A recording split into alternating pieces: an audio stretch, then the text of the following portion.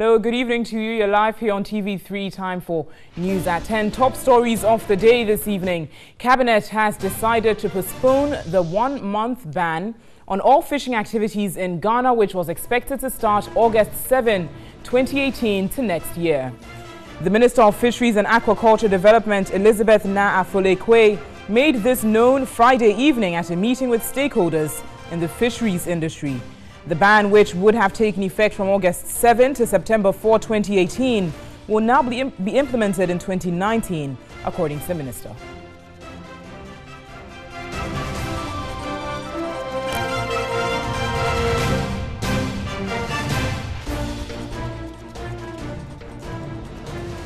And President Akufo-Addo has charged media practitioners not to sacrifice the future and integrity of the nation in their quest to grab the juicy headlines that break the news. Speaking at the 12th congregation of the Ghana Institute of Journalism, the president urged media owners to invest in their staff to improve standards.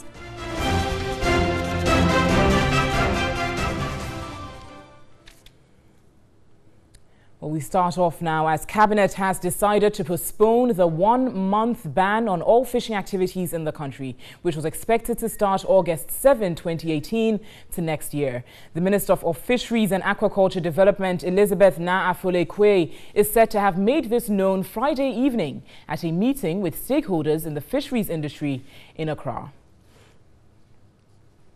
The minister said the ban, which would have come into force from August 7 to September 4, 2018, will now be implemented in 2019. The minister is said to have urged operators in the sector to prepare and be ready to comply in August 2019. According to ministry, government decided to postpone the ban following the concerns the players in the industry raised. With, with who?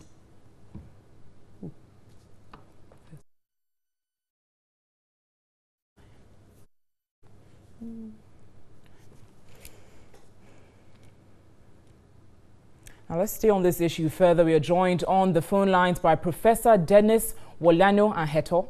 Hello, good evening, and thanks for joining us. He's a director at the Center for Coastal Management at the University of Cape Coast.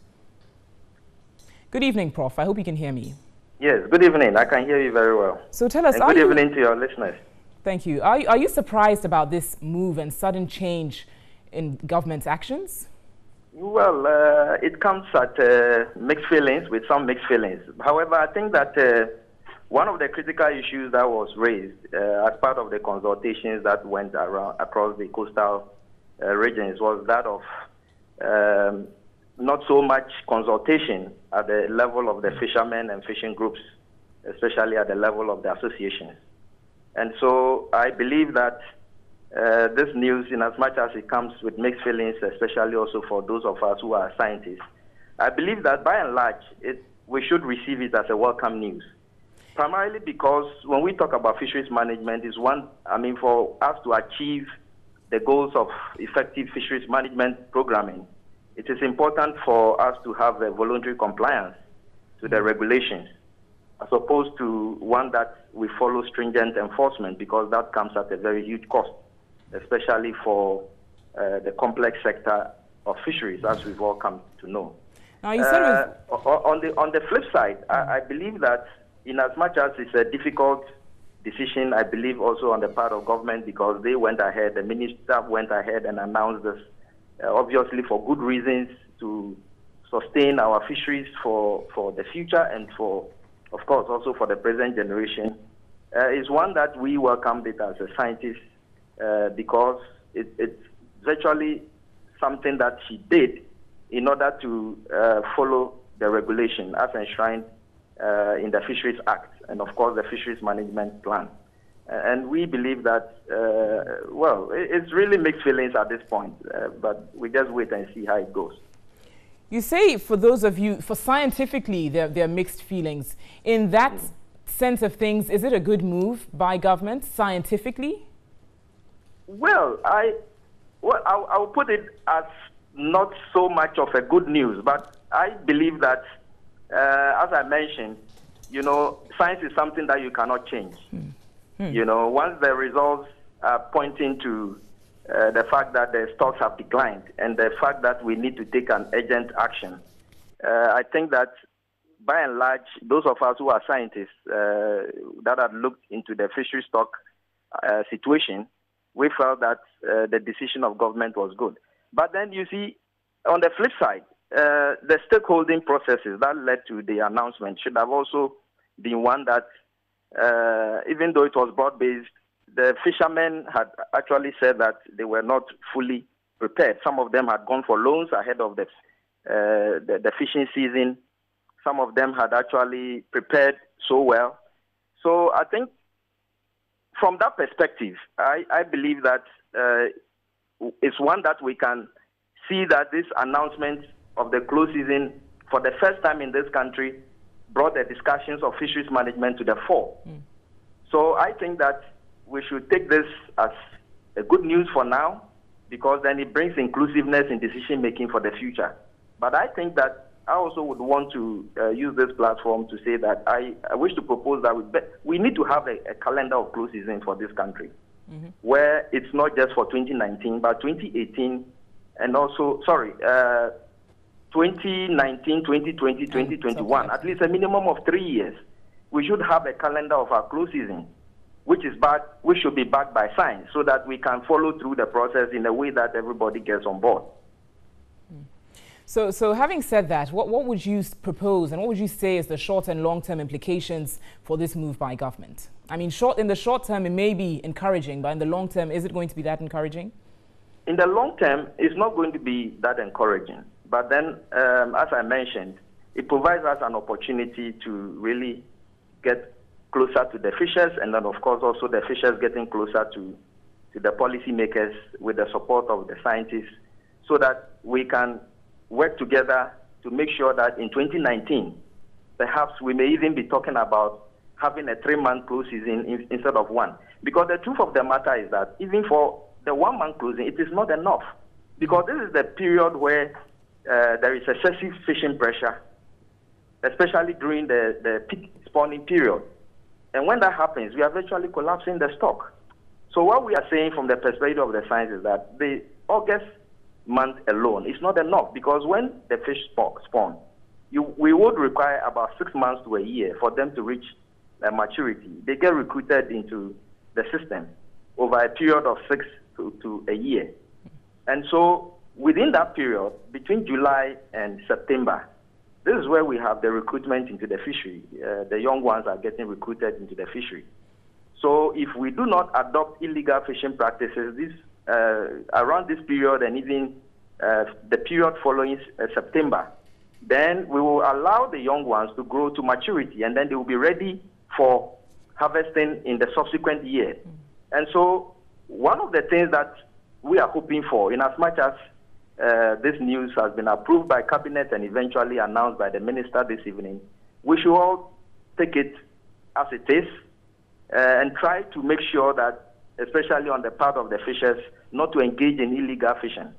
As a matter of fact, we have initiated some mm. research work in collaboration with the Sustainable Fisheries Management Project, talking about the University of Cape Coast mm. Department of Fisheries so, and Aquatic so, Science. So, with the research just, you've undertaken, and today, we've been sampling across some of the coastal towns. Mm. I can tell you that the fishers whom we spoke to went to sea and they came back with nothing. To the extent that some of them even said that, well, they, they welcome the close season.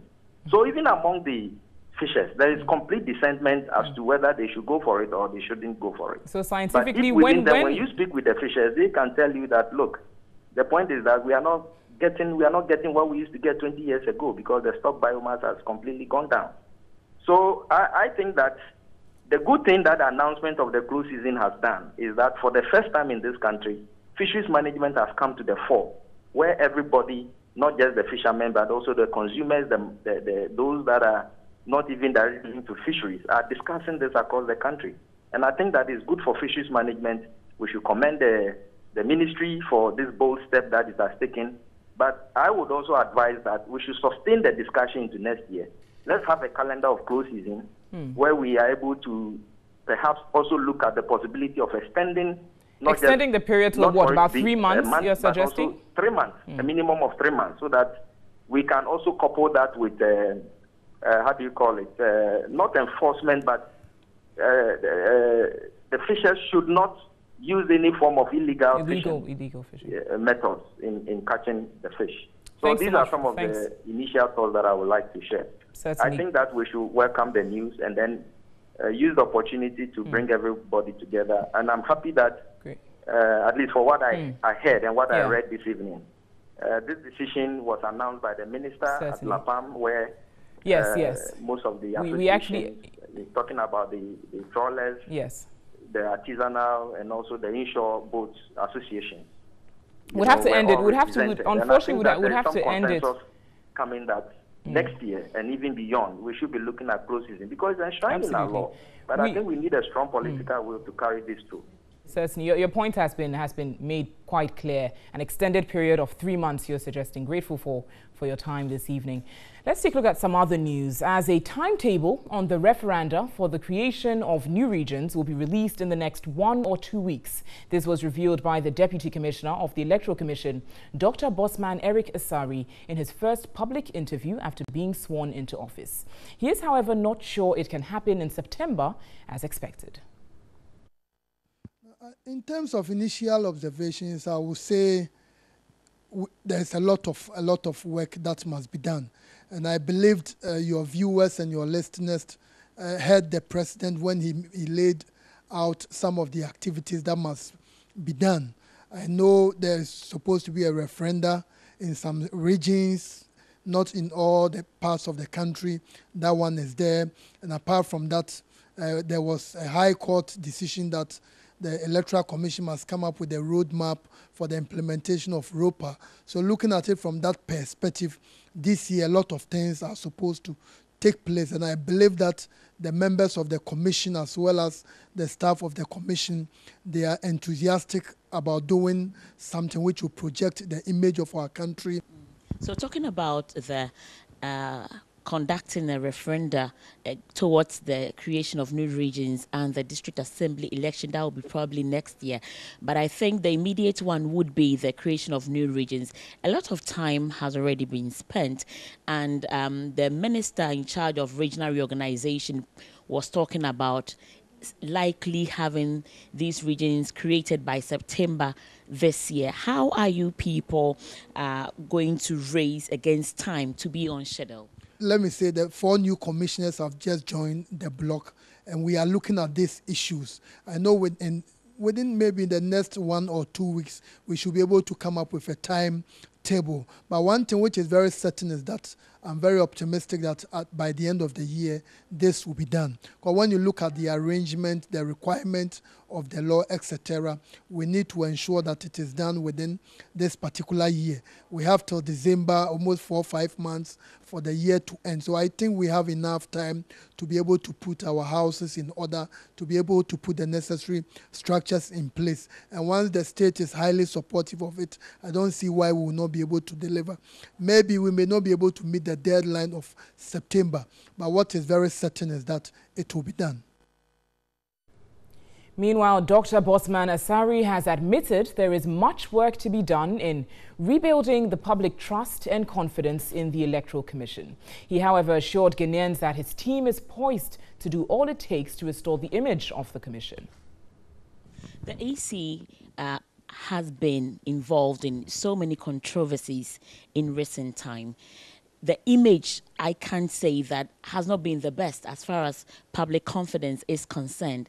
What are you and your team going to do as a matter of urgency in trying to rebuild public confidence in this institution? We know the EC has gone through a lot of problems. Some of them uh, generally uh, it has not been very very good. But i think that we are well poised. We understand the challenges ahead.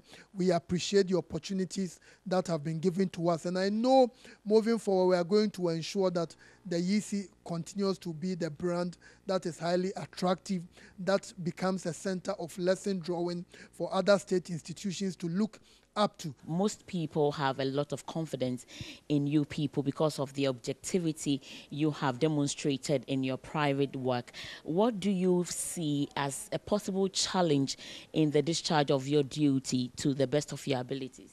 No, I'm not. I'm personally. I'm not anticipating any serious challenge. I think as a commission, what we are committed to doing is that to run a system that is very fair, that is transparent, that will ensure that the voters are those who are going to decide. Elections is not about theory, elections is more about practice. We are going to do it in such a way that what the people will choose will be at the end of the day, or the individuals they will select will become those who will be leading our country at the district level, at the parliamentary level in that manner. So I think that the team, the commission is highly committed to ensuring that we do that. And uh, with that, I know we are going to do a lot of work for our country. On that note, we wrap up news at 10 this evening. Thanks so much for watching. Visit our website. It's 3news.com for some more news. I'm Natalie Fort. Enjoy the rest of your evening.